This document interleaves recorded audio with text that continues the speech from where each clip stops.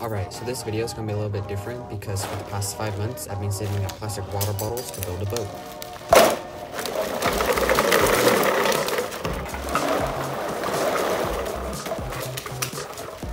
First of all, I'm going to use this waterproof silicone and I'm going to glue the Dasani bottles in rows of 10. The Dasani bottles, are, going to be the base and then the Gatorade bottles are going to make up the walls of the kayak. So now I'm just gluing the bottles together. This didn't take too long, it took about 15 minutes. Alright, so now I got five rows of 10 bottles. Now I'm gonna make a row of eight bottles on the front and back, and then a row of six bottles on the front and back, so a little bit curved. Now I'm gluing bottles together to give the boat its curved shape.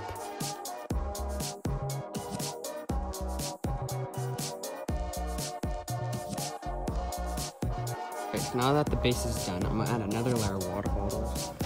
This time, I'm gonna add it in between right here. So half the water bottle will be on one side and the other half will be on this side.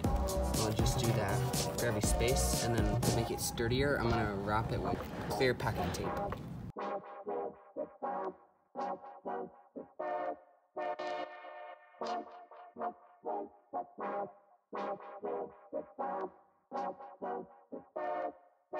Now that the base is done, I'm going to take this clear packing tape and wrap up the bottles just to secure it even more.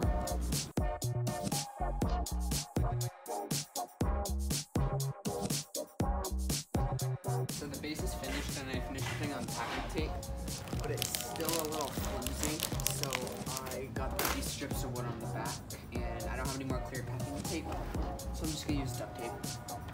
Note to self, I should have used longer strips of wood the entire length of the boat instead of these short ones.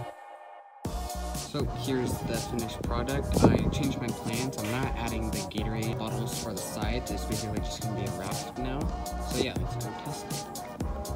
Alright guys, so we're here in Catalina and we're going to test the water bowl, the kayak. So it passes the float test. So, it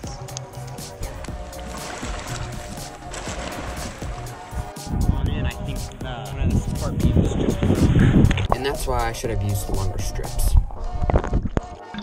In this clip, I'm using my homemade scuba tank, which provides me with about 10 minutes of air. So if you guys can get this video to 25 likes, then I'll do a step-by-step -step tutorial on how to build it.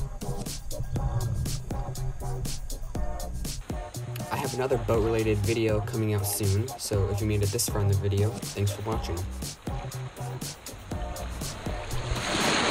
Oh.